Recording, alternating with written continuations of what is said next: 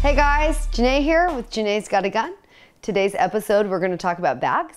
I want to go into a little bit about why it's important to have a bag and the importance of what a bag does for you, especially in the precision long range game. So, my first bag that I really started out with when I got into this game of precision rifle shooting long range in the competitive area was the run and gun made by Short Action Precision.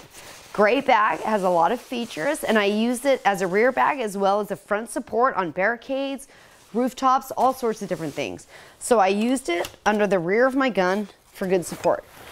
And uh, a wise man, or maybe not so wise, once told me you take it and you squeeze it like a titty, which, you know, I don't really squeeze titties, but I kind of got the impression of what I should be doing. And so I use this and you take up the slack and squeeze it like a ditty to get what you need to get really good support, to get stable, get on position, and make a shot. The good thing about this bag is that you can use this on your gun. You can take it and it has this side that has like, um, I don't know, grit, whatever you want to call this. You put it around the front of your bag, you can put it around your scope and you can attach it and you can go onto any type of barricade or anything and it has this non-stick so you can use it and load into it. I loved this bag. This was the first thing I ever used. It took me two years of a lot of shooting to be really comfortable with this. But then after a while, I realized it wasn't enough. So I had a friend, and his name was Solomon Manansala, and he made this bag. It was homemade. He made it with the, I don't even know, fairy dust, unicorn, I don't know what he made it with. It had a whole bunch of sand in it, something that made it super heavy.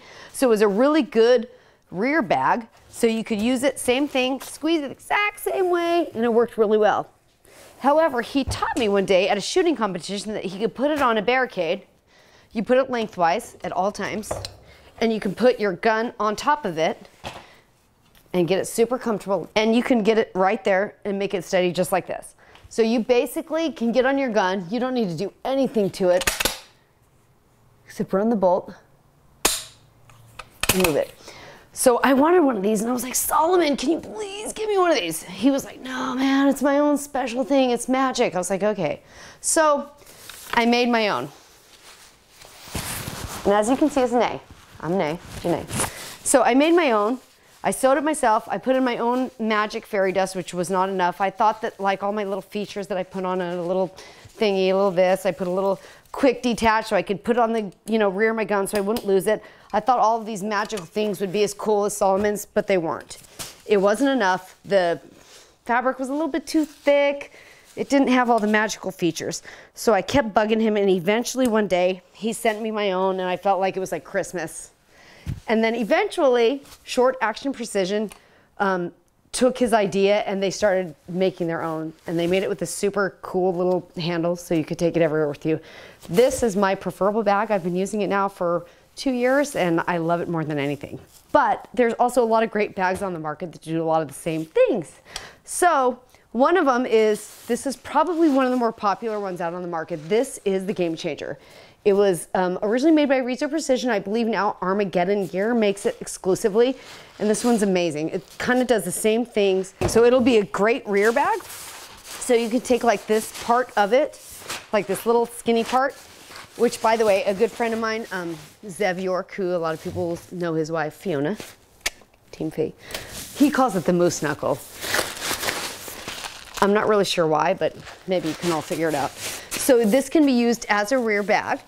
Same thing, squeeze it as you will a body part.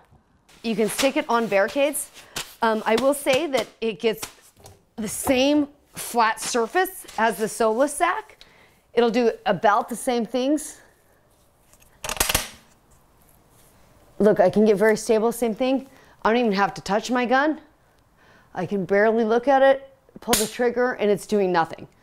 Um, the only thing I will say about this one, as opposed to the Solo Sack, is because of its shape and design, I can put it on something very skinny, like a little rail like this. Because it can wrap around something very skinny, it will be able to be a little bit more supportive than the solo sack for something in that situation. But it's it's it's not a whole lot different. It's more or less your preference and what you practice on. Good Lord, this thing is terrible. One of the next bags that I think is great, this is a Wiebad bag, and I'm not sure what the technical term is, but I believe we all call it the pump pillow. That could be the right name. It could be something we made up. The best practice I've seen for using this pillow is to use it like this. I'm, I'm right-handed, so I'm gonna put on my left arm. It's gonna take up the space I need for positional stuff. So when I go to use my gun positionally, I can take it right here to take up the space between my arm and my hip. So when I go to shoot, instead of having to support my gun freehand and having this empty space where you're trying to put your elbow to your hip, especially for a girl who doesn't have as much space or has more space, excuse me. And then when I go to kneeling, it's the same thing. I'm gonna put it on my left knee, left arm. I can get extremely stable right now. I'm gonna get even extremely more stable. I hope you don't see my socks right now. And this one is extremely important when you get into positional and when you get into rooftops. Rooftops are amazing. You're gonna use your front bag, you're gonna use either the Game Changer or you're going to use the solo sack as your front support and get very comfortable with that. But then you're gonna use this to take up the rear space as a rear bag underneath it. These are probably my favorite bags. Um, I think that when it comes down to it, it you need to go to the range that you're shooting at. You need to talk to people that you're shooting with and the shooters out there that are a little bit more experienced and try them all out. I will say that I am, I want to be upfront, I am sponsored by Short Action Precision. That's not the reason I've talked about their bags. They only sponsored me because I've bought their stuff and I've loved their stuff and I've believed in their stuff. I love all of these bags equally. It's a matter of what you use, what you get comfortable with, and what you're trying out. So the best decisions I can say is try it out.